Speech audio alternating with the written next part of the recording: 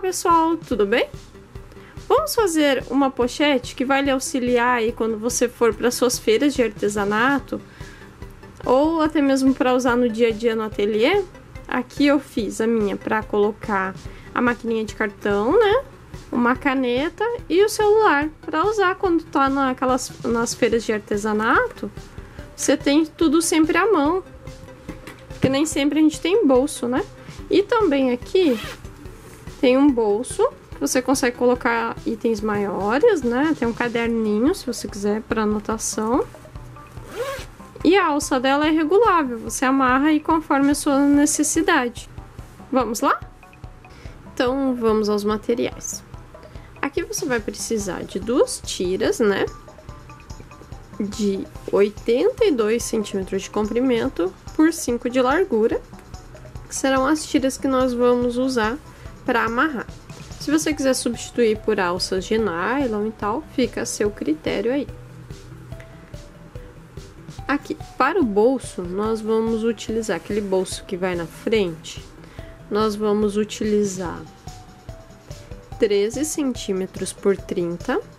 Aqui eu vou usar tecido principal, né, que é um tecido já dublado. E forro, também na mesma medida, né, não vou utilizar manta aqui no bolso por o meu tecido ser dublado, mas se o seu tecido for um tecido normal e você preferir usar, fica aí a seu critério. Um puxador e um zíper de 31 centímetros. Aí aqui, na parte da frente, então, teremos uma peça de 16 por 30 uma no tecido principal, uma, no, uma na manta, né, que eu tô usando acoplado, e uma no forro, que aqui eu vou fazer igual, né, esse mesmo azul, nessa medida, um tecido principal, um manta e um forro nessa mesma medida. E aqui a parte de trás, tecido principal, ó, manta e forro com 26 por 30 centímetros. Aqui eu tô usando o forro e, a, e, o tecido principais iguais, né? Só tô mudando lá o tecido do, do bolso. Mas aí fica a seu critério, como você preferir fazer. Então, vou começar pelo bolso. Vou colocar frente com frente, né? Forro e tecido principal. Se você for colocar uma manta, coloca a manta aqui atrás manta, acoplado e tal. Na parte de cima, né, aqui o meu tecido ele não tem direção, né, mas na parte de cima, se seu tecido tiver direção, você vai alfinetar.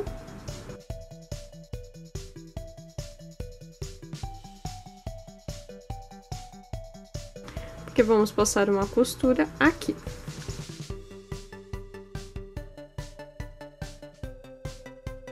Aí as tiras eu também vou fazer agora e vou fazer assim. Vou dobrá-las ao meio, alfinetar toda a lateral. E aqui na ponta eu vou costurar em diagonal, assim que eu quero um efeito diferente da pontinha, né? Então, em um dos lados das pontas, você vai costurar. O outro você deixa aberto, que é onde você vai usar para desvirar. E como também vai ser costurado para dentro da peça, não precisa de acabamento, né?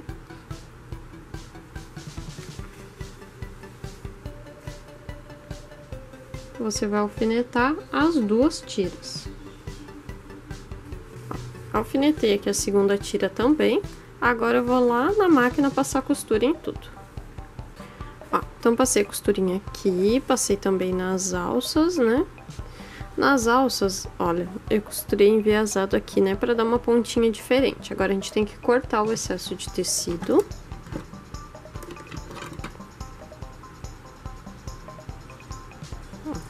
Aqui, né? Deixando uma margem para costura. E aí, eu vou desvirar cada uma das alças, ó.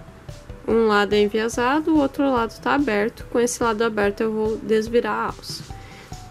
Essa aqui é a mesma coisa, né? Um lado é enviesado, o outro lado tá aberto e eu vou desvirar das duas. Aqui no bolso, eu vou abrir aqui. acertar direitinho a costura. E vou passar uma costurinha aqui para dar um acabamento, né? Eu vou levar no ferro também, antes de passar a costura, para acertar direitinho aqui a costura. Como ele é um tecido dublado e tal, ele pode ser um pouco mais resistente para conseguir fazer a dobra. Se você achar necessário, leva o ferro e depois leva a máquina de costura. Então, passei a costurinha aqui, né? Agora, vou colocar naquela, naquele corte de 16 por 30 Aqui eu tenho o tecido principal e a manta só, tá? Eu vou pregar o meu bolso. Então, vou posicionar ele aqui bem embaixo. Vou alfinetar. E vou passar uma costura nas duas laterais. Na parte de baixo, não acho necessário passar costura agora.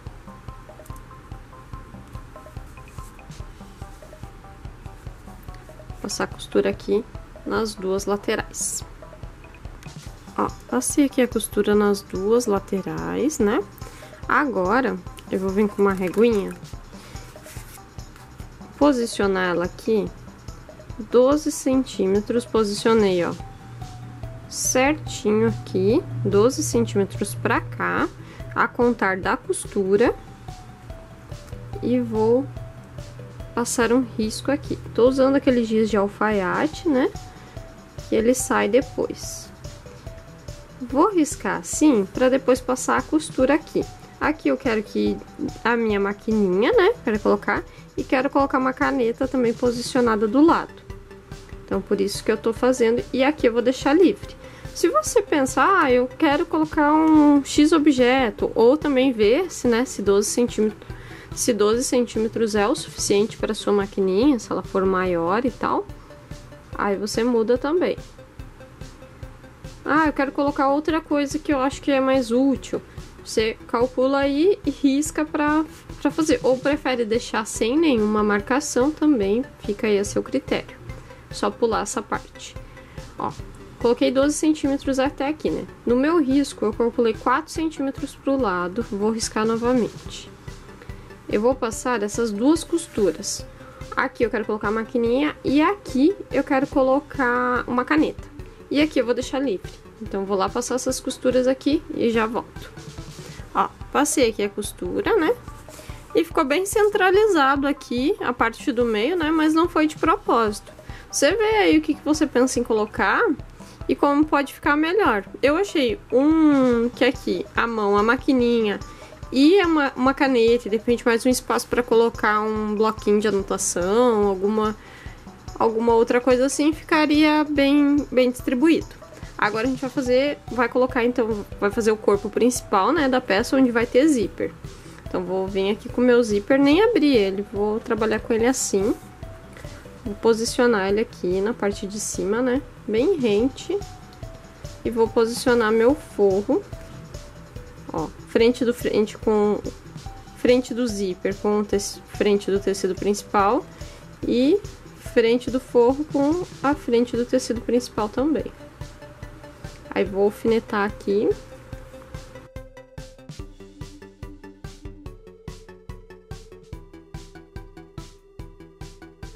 Agora vou lá passar uma costurinha. Então passei a costura aqui, né?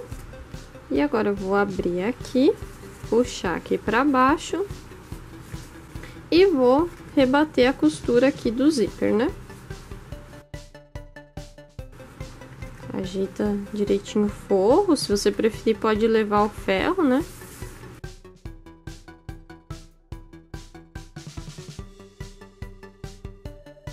Vou lá passar minha costurinha. Passei aqui a costura, né? Aqui. Agora vamos colocar o outro lado. Aí você vem com o tecido principal e a manta, que aqui no caso esses dois, né? Colocar frente do zíper com a frente do tecido principal e da manta.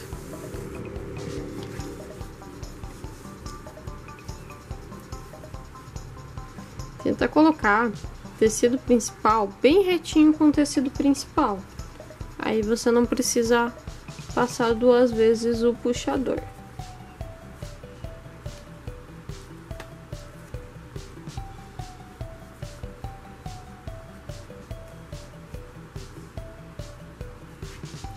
E agora você vem com o tecido de forro e também vai colocar aqui. Frente com frente. Vai alfinetar. Para depois passar a costura. Já passa a costura aqui e já rebate como a gente fez anteriormente. Ó, passei aqui a costurinha, né? Aqui, rebati também, né? Passei a costura e rebati. E agora eu vou colocar o puxador. Eu quero que abra assim, então vou colocar ele aqui desse lado. E o meu até ficou retinho. Se o seu não ficou reto aqui, você pode emparelhar ele na hora de colocar o puxador, né? Você passa o puxador, deixa reto, depois passa o puxador de novo. Ó, coloquei então meu puxador aqui, né? E desvirei as minhas alças e também levei o ferro. Agora eu vou fazer assim. Eu vou usar como marcação para colocar minhas alças o zíper. Então aqui, vou vir aqui ó, em cima do zíper, né?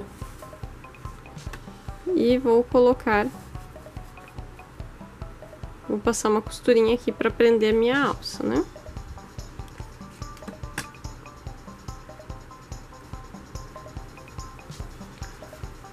Uma de um lado e outra de outro. A emenda eu deixei aqui para a parte de baixo, né? Nas duas.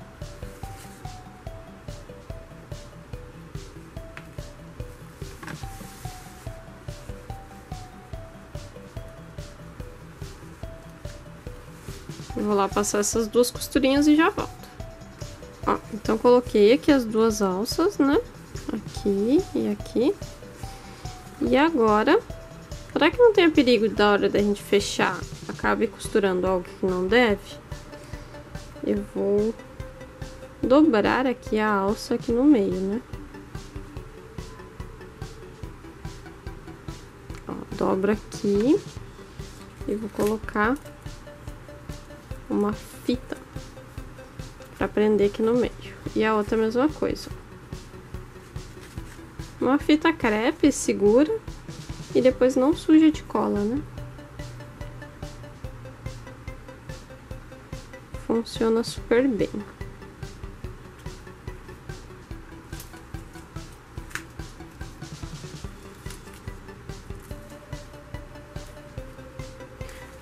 E agora nós vamos fechar, né? Você coloca assim, aí você vai, vai vir aqui com essa parte de trás, né?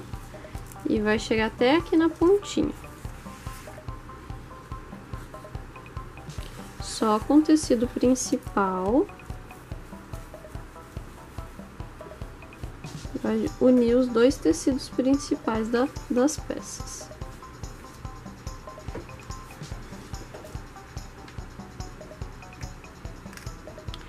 E alfineta aqui no fundo.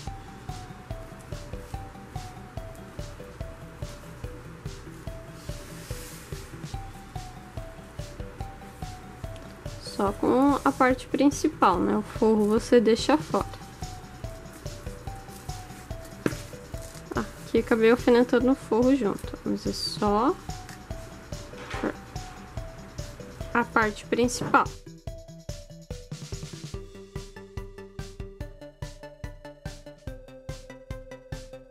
Só aqui a parte principal. Agora eu vou fazer a mesma coisa com o forro.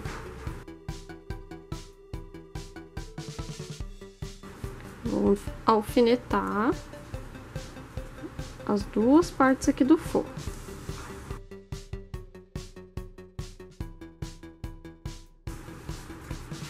Aí agora a gente arruma aqui em cima, né?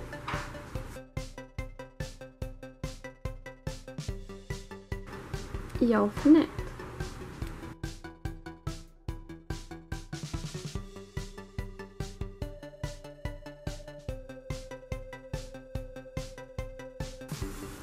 Observa se aqui você arrumou certinho, não deixou nenhuma prega.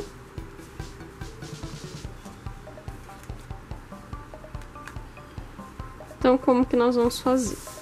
A gente vai vir, vai costurar aqui. Logo depois que passou do zíper aqui, terminou o zíper, para de costurar. E aqui do outro lado a mesma coisa. Começa aqui e termina logo depois que abaixo do zíper. Depois disso, a gente vem costura só o forro e depois costura só a parte principal. Lembrando de no forro deixar um buraco para desvirar. Então, depois que eu terminei, ó, vou vir aqui até que assim que a minha costura. Vou puxar essa parte para cá e vou costurar o restante. Então, assim a gente faz. Aqui a gente faz tudo todos juntos e aqui na parte de baixo forro costurado em uma vez, tecido principal costurado em outra.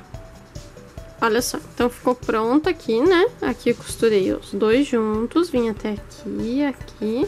Depois costurei parte principal e forro separadamente. Agora a gente vai nos cantinhos. Corta aqui os cantinhos para na hora de desvirar ficar mais bonito, né? Ficar um acabamento melhor. E aqui o excesso de zíper eu também vou cortar.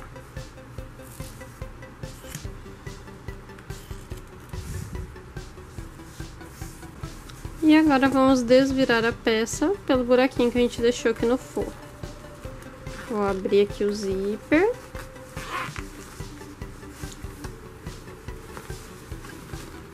Vou desvirar. No forro eu deixei um buraco bem grande até. Pra não ter maiores problemas na hora de desvirar.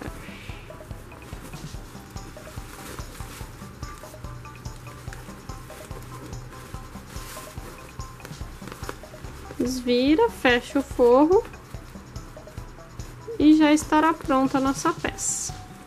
Então ficou pronta aqui a nossa pochete, né, para levarmos aí nas feiras de artesanato ou até mesmo você pode trabalhar, se você gosta de ter algumas coisas à mão, você pode colocar aqui tesouras, uma caneta, alguma coisa de anotação. E aqui você tem um, esto um estojo, né? Um, uma parte fechadinha aqui. Por exemplo, quando você vai trabalhar lá com sua maquininha, você pode colocar comprovantes aqui dentro, pode colocar mais alguma coisa para ter a mão. Ah, você pode colocar a máquina aqui e o celular aqui, vai dar certinho, e uma caneta. E aqui eu fiz com, com as alças, né? Você consegue aí colocar na cintura e consegue ficar maior ou menor aí conforme necessidade. Olha só, eu trouxe aqui um exemplo de como você pode distribuir.